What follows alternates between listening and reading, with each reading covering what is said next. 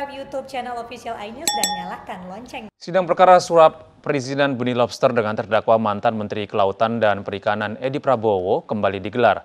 Istri Edi Prabowo dan tiga sesprinya dihadirkan sebagai saksi.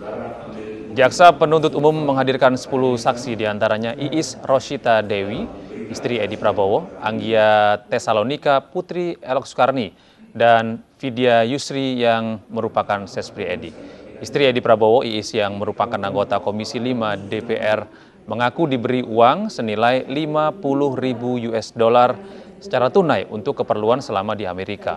Uang tersebut digunakan Iis untuk belanja jam mewah Rolex. Sebelum keberangkatan ke Amerika, Iis juga menerima uang 10 ribu US dollar dari Zaini Hanafi, PLT Dirjen Perikanan Tangkap KKP. Uang diserahkan kepada sesprinya Yeni. Sementara itu, tiga sespri Edi mengaku dapat fasilitas apartemen dengan biaya sewa berkisar 80 juta rupiah setahun. Apakah pada saat di Los Angeles itu ada ibu membeli sesuatu barang di situ?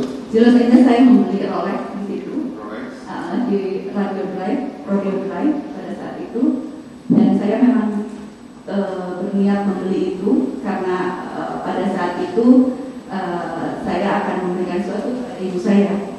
Karena ulang tahun sebentar lagi ibu saya. Dan saya saya anaknya yang ceritanya sudah jadi dewan saya ingin memberikan sesuatu yang itu